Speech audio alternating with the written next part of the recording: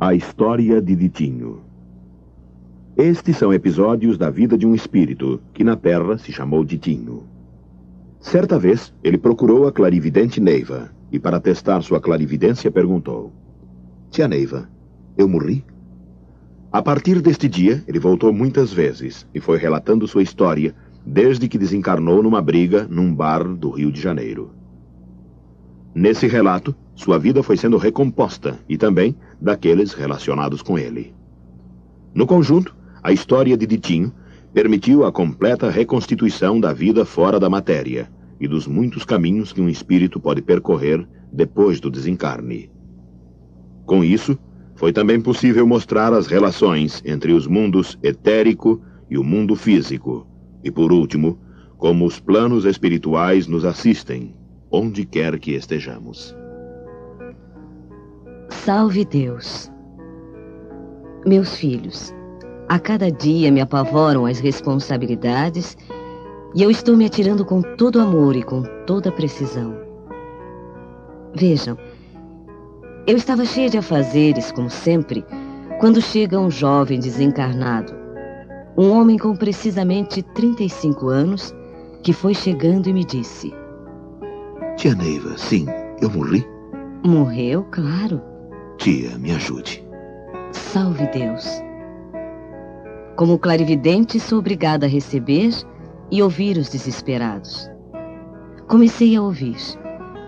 Tudo começou assim. Em frente de minha casa havia um barzinho de uma frequência marginalizada e, apesar de tudo, eu gostava de frequentá-lo. Certo dia, saiu uma briga que eu só hoje consegui entender. Havia policiais, cadáveres, hospital e, por fim, quando dei por conta de mim, estava leve e já em outro lugar. Ah, tia Neiva, a partir de então foi horrível pensar. E já estava ali a padecer. Sim, a minha mente sempre foi cheia de tolices, de futilidades. Nunca me apeguei a nada. E as pessoas que não têm a mente presa a alguma coisa são leves, a ponto de perambular como eu. Ah, tia Neiva, isto aí não foi nada. Já estava cansado do nada quando comecei a pensar. Pensei então estar sentado e realmente me vi numa pracinha. Comecei a me recordar das coisas com mais precisão. Lembrei-me de um certo vigário que sempre me dizia: Onde vai o pensamento, vai a alma, dona. Minha família, o barzinho, a tragédia. Minha família. O que aconteceu? Ninguém me respondeu. Será quanto tempo? Estarei sonhando? Tudo se passava pela minha mente, menos que eu tivesse morrido.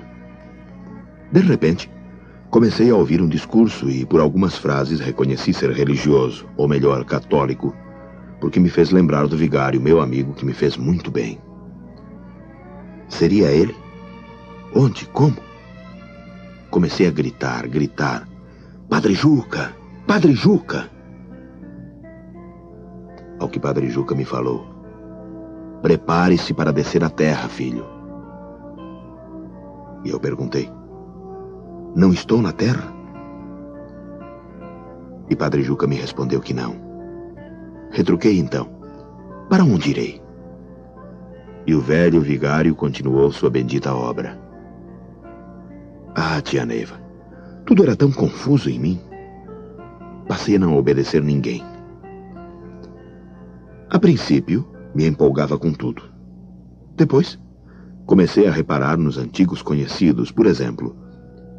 Estava certo dia sentado na tal pracinha, preocupado por não ter mais visto o sol e, como é natural, o sofredor não vê o sol. Cada dia sua visão fica mais escura e, realmente, o que mais entristece é a perda de vista da luz. Ouvi alguém conversando perto de mim. Olhei para ver se conhecia. Ah, que susto! Era um tal de Zé Campelo que, tenho certeza, estava no bar no dia fatal. Tive medo e saí correndo, já disposto a procurar o meu velho guia, quando alguém me chamou. Meu Deus! Era uma linda mulher com as mãos na cintura. E ela dava risadas. Chamou-me para dentro de uma bonita casa e eu, que procurava abrigo, decidi acompanhá-la. Mas que horror! A mulher tinha os pés de pato. Aí comecei a ter medo. Porém, ela logo que me viu olhando seus pés disse: Você é muito ingênuo. Eu disse a ela então que minha vida era cheia de impactos. Passou-me a dar lições, as quais me foram úteis para perceber a minha irresponsabilidade. Enquanto ela falava, eu me entristecia. Meu Deus, só me resta recordar as orações do meu velho protetor. Tudo me surgia enquanto ela tagarelava. Por fim, disse que ia me levar à casa de um seu amigo que lhe oferecia champanhe. Não gosto de champanhe, falei. Gosto de cachaça. Não obstante, foi chegando gente e não me observavam. Era como se eu fosse um João Ninguém. Comecei a ver aquilo como sendo um pequeno bar. De repente, alguém gritou comemorando uma data, sei lá. Vi então que se tratava de festa. Pensei em sair sem ser visto e procurar a minha cidade. Finalmente, aqueles comediantes estavam perigosos. Dei uma investida quando alguém gritou: Olha o impostor! Como veio parar aqui? Fui eu que o convidei a vir até aqui, falou a mulher. Vou vendê-lo se não tiver padrinho, retrucou o homem que estava à porta. E virando-se para mim, perguntou: Tem algum padrinho? Pensei no meu santo vigário. Porém, como sempre, a bebida me seduzia. Também não tinha para onde ir. Pensei em ficar ali mesmo. Mas os presentes aos gritos queriam saber se eu tinha padrinho. E para Isaura, a mulher pombagira, dona da casa, respondi: Não, não tenho padrinho. Foi horrível. Uma mão quente e como ferro agarrou no meu braço e me jogou no meio da roda a me fazerem crítica, compreende? Me lembrando das palavras do meu protetor, o vigário, que eu estava no verdadeiro inferno. E como sair? Não sabia. A minha tristeza causava risadas. Nunca vi tanta euforia, até que um chicote ressoou como se no infinito, com um silvo de dar medo. Foi como se botassem água na fervura. Porém, eu saí não sei como dali e fui parar não sei onde também. Fiquei num canto de uma casa e já estava para entrar quando novamente ouvi uns gritos. Corri para lá. Este foi um quadro que nunca me saiu da mente. Uma mulher praguejando e dizendo que o marido havia tomado seus filhos.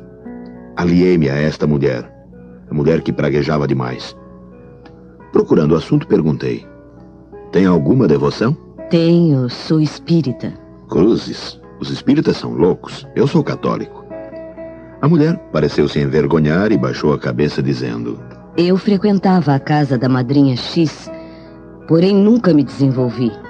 Entretanto, lá se fazia muita caridade. Eu, que sempre fui responsável, sempre vivi em volta do meu marido. Como se chamava? Teodoro. E temos seis filhos. Onde estão? Há pouco Teodoro passou por aqui e levou todos. E estes três que estão aí atrás da senhora? Não sei, não conheço esses infelizes. Porém, dizem que são meus filhos e me chamam de mãe. A mulher arremessou algo em cima deles, os quais começaram a correr sem destino, deixando-nos a sós. Oh, meu Deus, pensei, passando a mão em minha testa. Pensei em ir embora, porém não podia mais deixar a mulher sozinha. Lembrei-me do vigário.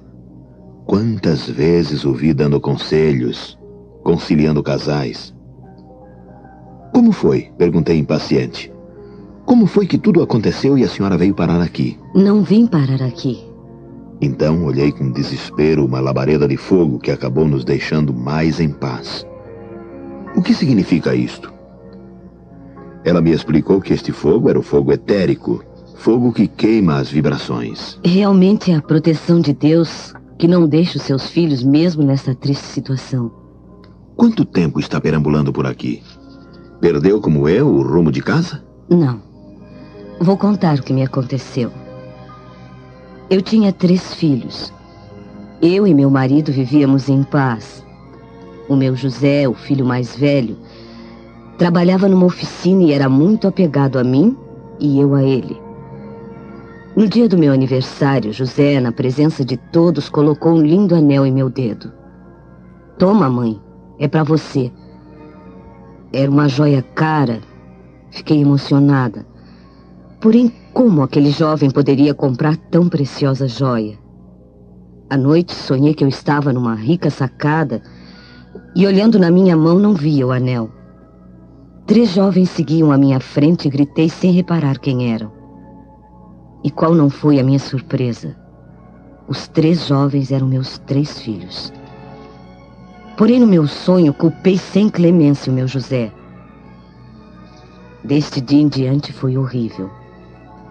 Uma criança muito parecida com o meu José é que estava com o anel. E porque eu estava com este sonho a me martelar a mente, à noite fui ao centro. E lá no terreiro me disseram que ele veio para se reajustar comigo nessa encarnação.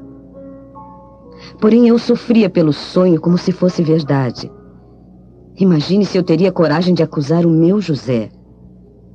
Cheguei ao meu José e perguntei-lhe: Meu filho, como você comprou uma joia tão cara? Se a senhora souber, perde a graça, ele me respondeu. Sim, porque ele estava se sacrificando para pagar. José sabia que eu tinha um verdadeiro horror a roubo. Era até intransigente. Não obstante, fui falar com uma amiga íntima minha, uma vizinha. E isso foi o meu erro. Houve um roubo na oficina que José trabalhava. José estava numa pescaria quando dois policiais chegaram à minha porta para pedir um esclarecimento. Fiquei como se o mundo tivesse desabado. Meu Deus, roubo. Sim, afirmaram os homens. Na oficina que o senhor José trabalha. A vizinha, minha confidente, disse quase gritando. Nossa, dona Lia, coração de mãe não se engana. Bem que a senhora suspeitava do seu filho. Baixei a cabeça e a mulher contava ao policial a história do anel. Ouvi os passos de José. Não defendi o meu filho. E ele olhou-me com tanta ternura e dor que eu me arrasei. Arranquei o anel do dedo e lhe entreguei. Não, mãe, é teu. Junte as minhas roupas, logo que apure esse roubo eu passarei por aqui. José era gerente da oficina e por isso foi chamado. Porém, não havia suspeita. E, no entanto, somente eu suspeitei de meu filho. Fui arrumar as suas roupas e encontrei as duplicatas do anel que pagava a prestação. Condenei meu filho, difamei-o e tomei toda a estricnina que encontrei. Meu Deus, e o que vamos fazer? Ouvimos uma voz que me era bem familiar. O meu velho vigário colocou a mão na cabeça da mulher e disse: Esta confissão te salvará. A mulher deu um suspiro de alívio. Teu filho já te perdoou, falou o vigário. Vá se encontrar com ele. Onde? No verdadeiro plano dos espíritos. Como me fez bem essa confissão. Mas eu sou espírita. Eu sou uma suicida. Não tem importância. A vontade de Deus não distingue religião, falou o vigário. Foi impressionante aquele momento. Quanta paz, quanta segurança. Vamos, disse o vigário, segurando a mão de Lia.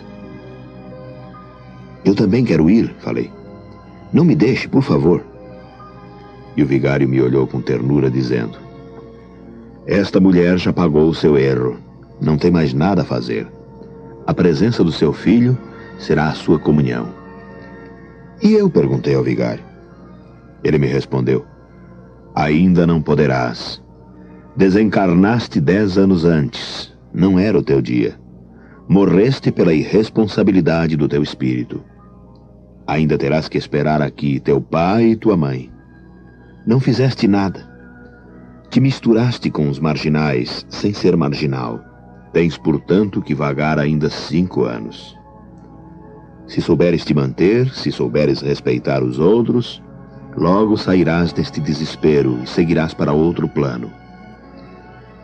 Oh, meu vigário, como pode fazer isto comigo? Deste absolvição àquela espírita e a mim, que nunca te esqueci, me deixas aqui? Ditinho, tudo o que fizeste por essa mulher, a Lia, vai servir para ti sempre. Duvidaste do amor de Deus, e eu fui instrumento para não mais duvidares. Enquanto ela for espírita, e eu um representante da Igreja Católica Apostólica Romana, nada há a nos separar. E continuarei com as minhas convicções. O vigário prosseguia. Ditinho, estamos num mundo de realidade. As religiões não unem e nem separam, e sim o amor a Deus, o verdadeiro amor no espírito da verdade. Sempre te chamei para a igreja para que pudesses aprender a caridade. Como? Onde estou? Disse eu afinal. Respondeu-me o vigário. Num mundo dos espíritos, e infelizmente o mundo inferior de mentes atrasadas. Estarei aqui sempre que me chamares. De fato, vigário, quantas vezes me chamaste a razão. Eu não acreditava em ti. Somente acreditava na tua bondade. E vais me deixar aqui. Nisto, um forte estampido nos fez mudar de sintonia. Viramos-nos para lá e vimos três lindas jovens que gritavam com medo. Era uma pracinha como qualquer outra, porém triste, como se revelasse o estado das almas dos que ali estavam. Meu Deus, disse o vigário. Se quiseres te libertar daqui mais depressa, ajuda a conduzir aquelas jovens. Vá saber se elas precisam e se aceitam a tua ajuda. Como?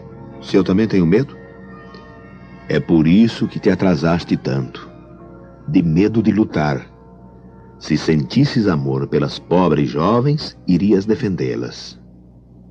Oh, pobre Didinho, falou o vigário. Eu então senti vergonha do vigário e fui, olhando preocupado e vi que o vigário havia desaparecido. Oh, meu Deus! Lembro-me do meu desespero. Quantas vezes na terra ele me alertara e eu o desprezava. Comecei a dizer estas palavras enquanto andava. Deus, Pai e Espírito Santo. Palavras que o vigário me ensinara. Quando as jovens me viram, se encolheram. Porém, eu continuei. Deus, Pai e Espírito Santo. Elas foram chegando devagar até que se chegaram a mim. De onde vem? perguntei. Somos abandonadas pelas nossas famílias. Tivemos um desastre e ficamos bem reconhecíveis. A nossa família, ninguém. Não, nada, não sei. Devem estar igual a mim quando passei por essa dimensão. Enquanto eu pensava, as jovens se acalmavam. Olhei em torno de nós e vi o vigário indo ao longe. Vamos, vamos, me acompanhe, falei. Elas me acompanharam e entramos na grande casa. Novamente, o vigário desapareceu. Então pressenti que o vigário nos arrastava. Era uma casa enorme. No seu interior as pessoas faziam coisas. Eu estava dentro da sala sem saber se saía ou se ficava quando surgiu uma senhora simpática vestindo-se como se estivesse na Idade Média. A tal senhora veio com graça ao nosso alcance, dizendo: O senhor é o protegido do vigário? Sim, e estas jovens também. Muito bem. Chegaram na hora oportuna aqui. Temos muito o que fazer nesse albergue. Meu Deus, estou condenado a cinco anos, pensei. Como irei pagar a minha estada aqui? Foi como se eu tivesse respondido. Não se preocupe. Eu estou precisando de todos os quatro. Perguntei o que poderia fazer e ela nos deu a tarefa. De repente ouvimos gritos. Esta mulher vive tentando suicídio. Como foi suicida, quer acabar de vez com a vida. Por quê? Não quer viver? E cada vez que faz uma loucura, piora a sua situação. Eu sempre ouvi dizer que os suicidas ficam vagando. Sim, porém Deus não a deixou, porque com este ódio e revolta, ela iria provocar muitos desencarnes. Complicada a vida. Sim, muito complicada. Senti uma simpatia imensa pela mulher e cheguei mais perto e quase gritei. Era Marta, velha conhecida minha. Seria por isso que o vigário me trouxera até aqui? Eu conheci esta moça na cidade onde vivia. Éramos até meio parentes. Só sei que ela se envolveu com os espíritas e se acabou. Sim, eu conheço sua história. Não era espiritismo. Era uma pobre mulher que vendia suas faculdades mediúnicas. Não. Sim, se me permite, disse eu. Esses espíritas apenas recebiam presente das pessoas que queriam agradecer. Receber presentes é o mesmo que cobrar, ou maneira de cobrar mais caro. A maneira que irmã Lívia falava me convencia. Cheguei perto de Marta e ela disse: Sai de perto de mim, Exu. Não quero te ver. Eu sou de Tinho, irmão de Júlio. Seu cachaceiro inveterado, imbecil. Foi você que matou Fugêncio, meu marido. Que nunca te fez mal. E dizendo isto, saiu correndo e se perdeu na escuridão. Atônito, não sabia o que deveria fazer. Porém, tive medo de sair e perder a proteção da irmã Lívia. Deixei de pensar em mim e comecei a me preocupar seriamente, porém, com uma diferença. Não era por mim, e sim por Marta. Como? Eu matei o seu marido? Procurava me lembrar da noite fatal. Lembro-me do barzinho. Ouvi tiros, alguém apontando armas, cadáveres, sirenes de polícia, ambulâncias e só. Nada mais. Sim. No entanto, matei um amigo. Deveria estar muito bêbado. Oh, meu Deus. Sempre fui um irresponsável, porém não a ponto de fazer tanto mal. E agora? Agora é tarde. Pobre vigário. Deve ter sofrido tanto por mim. Oh, meu Deus, não terei mais paz. Como saberei da verdade? Por acaso não será mentira dessa louca? Venham, vão descansar. Descansem vocês. Eu nunca mais descansarei. Sim, tem razão. A vida aqui é bem agitada. Por quê? Porque todos têm que passar por aqui. Os que sofreram e se ajustaram na terra passam por cima. Os que não tiveram seus reajustes irão se reajustar aqui. Isso é como um oceano em tempestade. Tem algum nome esta cidade? Sim, Anodai, porque é sempre noite.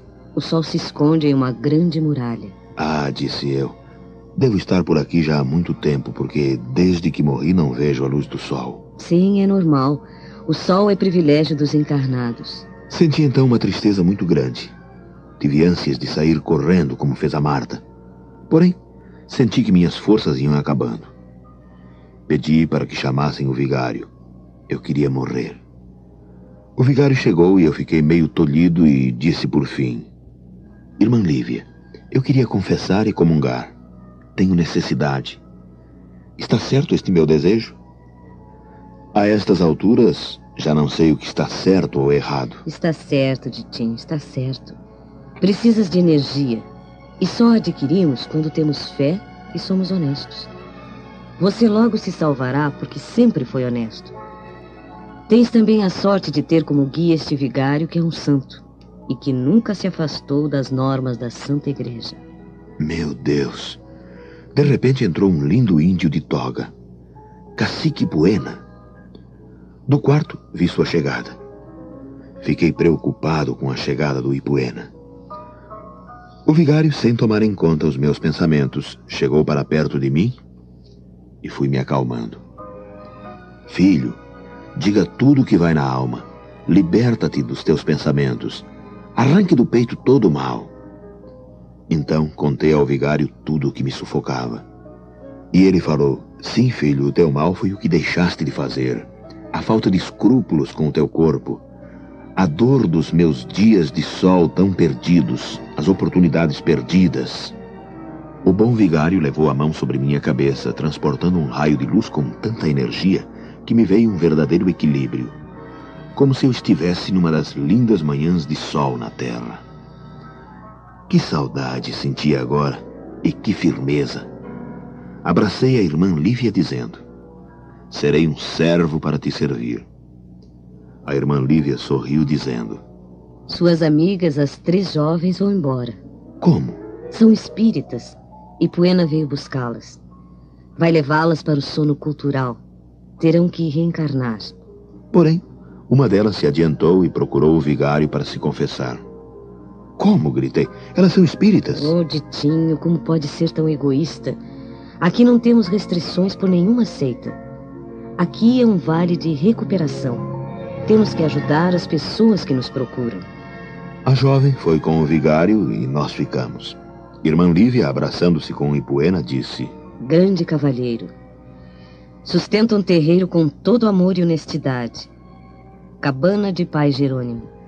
Dizem que lá já se evoluíram duas falanges de Exu, e sempre com sua força. Graças a Deus. Sim, salve Deus, disse Ipuena batendo no peito. E quando batia no peito, saía luz de energia. Nisto, ouvimos o soluço de uma das jovens. Irmã Lívia foi ao seu alcance. Por que fez isso, minha filha? Preciso me confessar. O vigário fez a confissão e a jovem se acalmou. Despediram-se e foram-se. É, disse eu, foram-se todos. Tudo indica que serei eterno hóspede seu. Sinto saudades da terra, dos meus chinelos, do meu banho, dos raios de sol, das noites de luar. Oh, noites de luar, terás agora mesmo. Ditinho, meu filho, vamos pedir a Deus pelos bandidos do espaço, para que eles fiquem por lá e não voltem para nos atormentar. Como? Bandidos? Sim, espíritos que vivem tirando o sossego de todo mundo. E qual a sua finalidade? Homens que não se realizaram na Terra e se incriminaram tanto a ponto de perder a própria razão do bem. É uma falange milenar. Meu Deus, é tudo tão complexo. As coisas aqui são bem mais complicadas. Sim, não são tão claras como na Terra. No entanto, aqui, só sabemos que somos vindos de lá. Se o homem conhecesse esse estágio, jamais facilitaria com sua missão na Terra. Salve Deus. Verdade. O homem nasce, tem uma procedência, enfurece o seu cobrador e fica aqui a esconder-se dele. Meu Deus. Veja-os. Estão perto os bandidos do espaço. Cruzes? Vieram para cá? Não. Tinha uma ponte magnética. Não atinge nem mesmo com suas vibrações. É, tenho muito que aprender. Irmã Lívia começou a me fazer perguntas. Perguntou se eu havia me casado na Terra e se minha mulher me abandonara. Exatamente. Por causa da minha cachaça. Porém, nunca sofri por causa disto e normalmente continuei a minha vida. Ela se encontrou com outro e era feliz. É o que sei. Gostava muito dos meus pais, de minhas irmãs. Disse também que não tinha saudades, a não ser do sol. Para onde irei? Ditinho, Vais frequentar uma escola para poder sair daqui. Terás que ficar aqui exposto aos gigantes da terra. Perdeste seis anos de vida na terra com muita oportunidade de reajustes. Não cuidastes do teu corpo e o perdestes antes do tempo das cobranças. Daqui a seis anos, passará por aqui uma senhora por nome de Maria Rita. Lembras? Sim, me lembro. Maria Rita fora minha namorada por muitos anos. Sim, e o que fez? Deixei-a na pior condição, por falta de amor. Nunca senti amor a ponto de me sacrificar por alguém. Oh, meu Deus, como sofrem as pessoas que não têm amor. Me lembrei então de minha mulher e seus três filhos, aos quais nunca dera atenção. Por quê? Porque não eram legítimos. Deixe pra lá, Ditinho. Vamos cuidar de nova vida. Oh, meu Deus. Queria amar alguém a quem eu pudesse evoluir, ser útil. Não tinha noção do tempo, porém, deve ter passado alguns dias.